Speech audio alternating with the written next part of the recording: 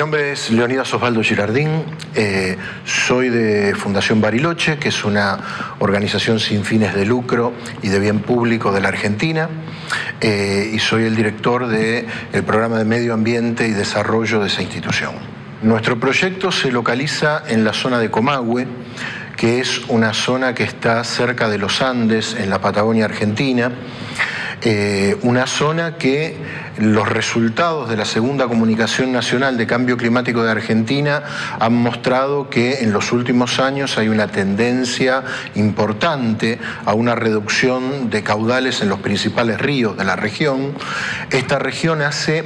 prácticamente 7, 8 años que está sufriendo una situación de sequía que es particularmente larga. El proyecto se trata de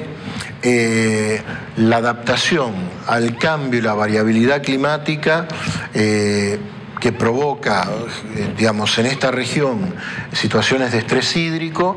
en la zona del Comahue, que es una zona que tiene ciertas características. Por un lado, eh, una variabilidad muy alta entre las precipitaciones que se dan en una parte de la región más cercana a la cordillera y otra parte de la región más cercana a la meseta patagónica, donde llueve mucho menos y eh, la, la región es mucho más árida, y tiene a su vez una mm, multiplicidad de eh, actividades que se desarrollan y de actores ligados a esas actividades. Desde la explotación hidrocarburífera por parte de grandes empresas, pasando por la producción de frutales y eh, la producción de vid para vino, por medianas empresas, pero también por pequeños productores. El objetivo principal del proyecto es suministrar información técnica para tener lineamientos de política que permitan hacer medidas de adaptación a esta variabilidad y cambio climático de la población más vulnerable de la zona. El éxito del proyecto eh, fundamentalmente es eh, conseguir suministrar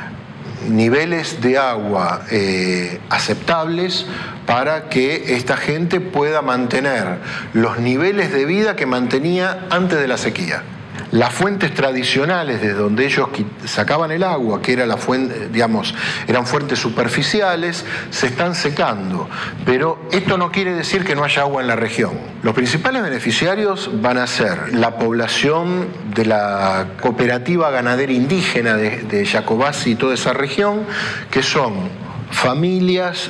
generalmente de origen mapuche, que tienen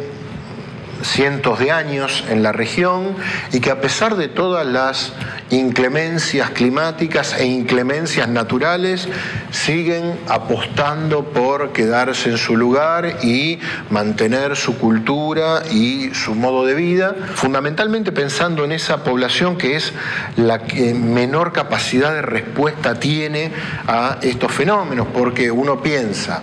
en un productor frutícola y bueno, por ahí se puede adaptar y hacer otra actividad. Uno piensa en un productor vitivinícola con las grandes inversiones que están eh, puestas y por ahí, bueno, puede implementar algún tipo de tecnología que le permita, por ahí con mayores costos, pero seguir produciendo. Esta gente no tiene otra opción. Si a esta gente no le damos agua, no tiene otra alternativa, no, no, puede hacer otra cosa y no tiene acceso a otra cosa. Entonces, me parece que eh, para nosotros es fundamental poder dar respuesta a eso.